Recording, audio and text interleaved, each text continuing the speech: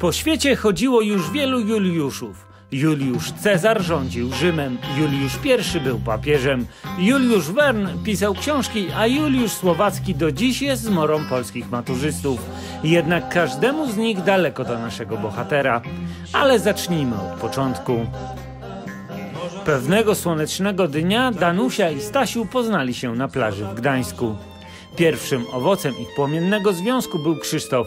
Niestety jego karma była krótka. Po jednym dniu od narodzin odszedł do czystej krainy.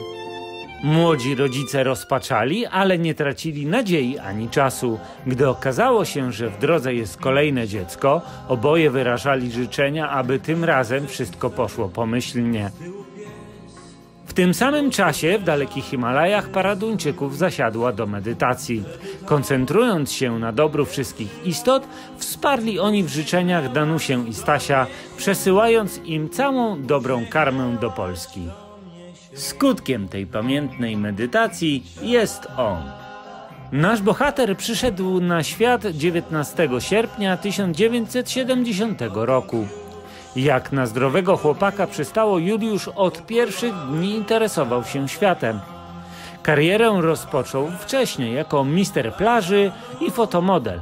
Później próbował sił jako wirtuos skrzypiec, ale porzucił światową karierę na prośbę Zbigniewa Wodeckiego, którego gra Juliusza wpędziła w niemałe kompleksy. 20 grudnia 1983 roku zmienił całe dotychczasowe życie naszego bohatera. Nastoletni Julek przyjął wtedy schronienie buddyjskie u swojego duchowego mistrza i przyjaciela Lamy Oleny Dala. Od tej pory świat był już inny, a rozwój pod opieką buddyjskich strażników następował dynamicznie. Gdy tylko hormony dały o sobie znać, przebojowy pankowiec w zielonych włosach stał się seryjnym monogamistą.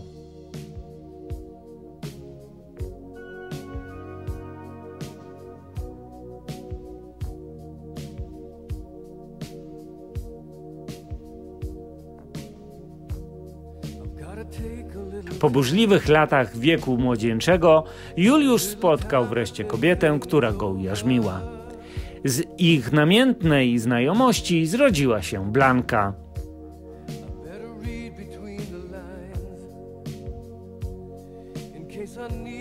Kilka lat później wiatr karmy zawiał w innym kierunku i Juliusz spotkał Olę, z którą postanowił replikować swoje DNA po raz drugi, czego owocem jest.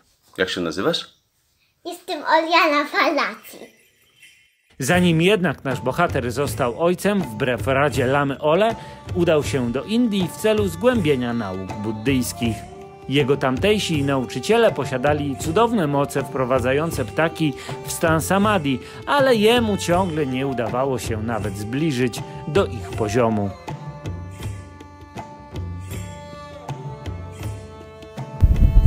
I ta ścieżka zaprowadziła cię do Indii. Tak, dokładnie. Ponieważ chciałem być jak najbliżej źródła, chciałem być blisko tego początku, chciałem poznać to cały buddyzm w jego takiej pierwotnej, naturalnej formie.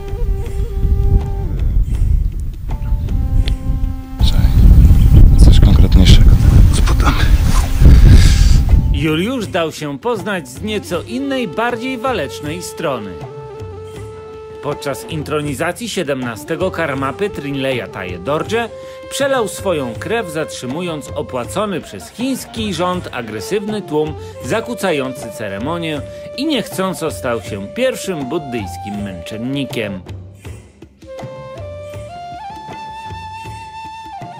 Powiedzenie, że podróże kształcą i w tym wypadku znalazło zastosowanie. Przez lata Juliusz spotkał się z wieloma nauczycielami, którym bardzo dużo zawdzięcza. Nauki otrzymane od mistrzów przekazuje jako podróżujący nauczyciel buddyzmu tybetańskiego. Nasz bohater doskonale wie, co to ciężka praca. Jego błyskotliwa kariera wiedzie m.in. przez posadę kelnera, a wymyślony w tamtym czasie przez Juliusza schemat ułożenia sztućców wpisał się na stałe do obowiązującego na całym świecie protokołu dyplomatycznego. Innym razem pracując jako dekarz i malarz na budowach w Europie, wyznaczał nowe trendy urządzania wnętrz. Po powrocie do Polski pomógł wielu bezrobotnym istotom w znalezieniu pracy. Zmęczony pracą rekrutera uzupełnił edukację w Cambridge, zdobył uprawnienia badań nieniszczących, tytuł inspektora spawalnika, a nawet dyplom inżyniera. Dziś nadzoruje budowy morskich wież wiatrowych w Europie. To dopiero jego pierwsze 50 lat.